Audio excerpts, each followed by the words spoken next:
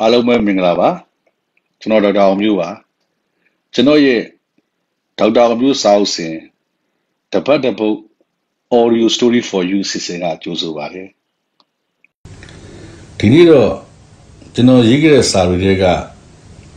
လူကြီးနဲ့လူငယ်ဆိုတဲ့စာကိုဖတ်ပြချင်ပါတယ်ဒီစာကို2016ခုနှစ်လောက်ကကျွန်တော်အဖေရဲ့ယေရှုတရားတွေအောင်းမိပြီးဖ ခင်ရဲ့ဂုဏ်ကျေးဇူးတွေအတွက်ကျွန်တော်ရေးခဲ့တာပါ2016ခုနှစ်မှာထုတ်ဝေတဲ့ကျွန်တော်နဲ့နိုင်ငံတကာအတွေ့အကြုံများဆိုတဲ့စာအုပ်ထဲမှာဖော်ပြခဲ့ပါတယ်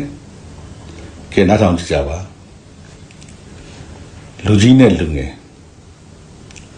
ကျွန်တော်အဖေဟာသားသမီးတွေကိုစူပူချိန်ပေါင်းလို့မရှိဘူးသူဆုံးမတင်တာရှိရင်အေးအေးဆေးဆေးပဲပြောလို့ရှိတယ်ဒါပေမဲ့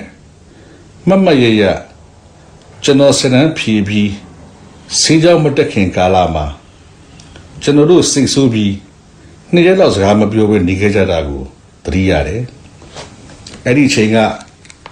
ကျွန်တော်ကအားနေတော့အပြင်းစားတွေအရန်ဖတ်ပြီးကိုကိုကိုတိတ်တိတဲ့ထင်းမန်တက်နေတဲ့အချိန်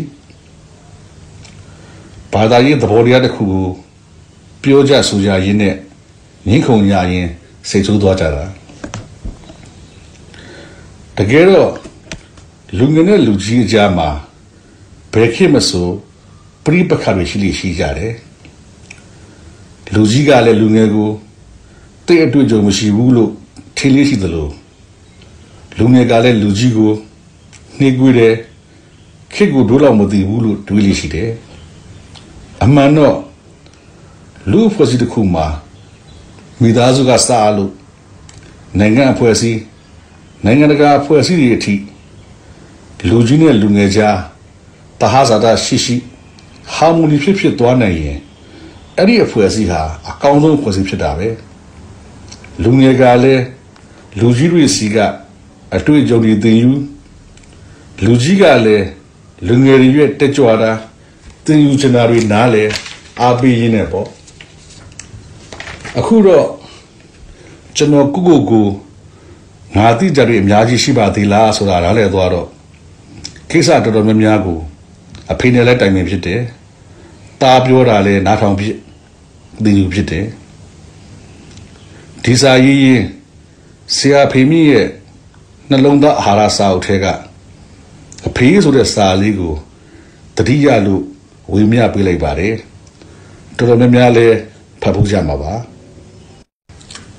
ကျွန်တော်လင်းနှစ်သားတော့ကငါဖေဖေကြီးဘာမှမဆိုလုပ်တတ်တယ်ငါနှစ်သားတော့ကငါဖေဖေကြီးမသိတာဘာမှမရှိဘူး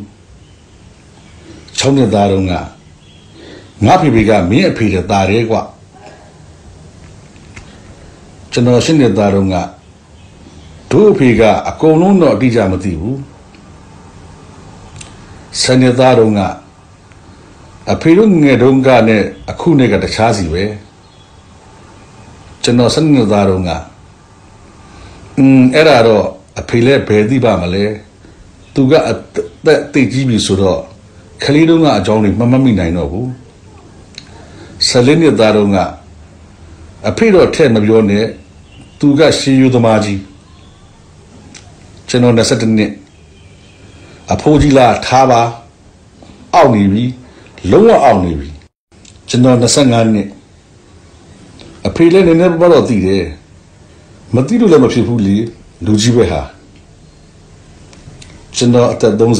30အဖေကိုနည်းနည်းပါးပါးမီးပြန်ကြည့်ရင်ကောင်းမှထင်တယ်ဘာပြောပြော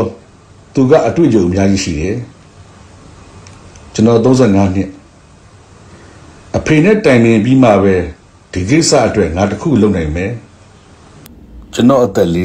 40အဖေသားဆိုရင်ဒီကိစ္စကိုဘယ်လိုဖြေရှင်းမလဲမသိဘူးအဖေကအတွေ့အကြုံစုံတယ်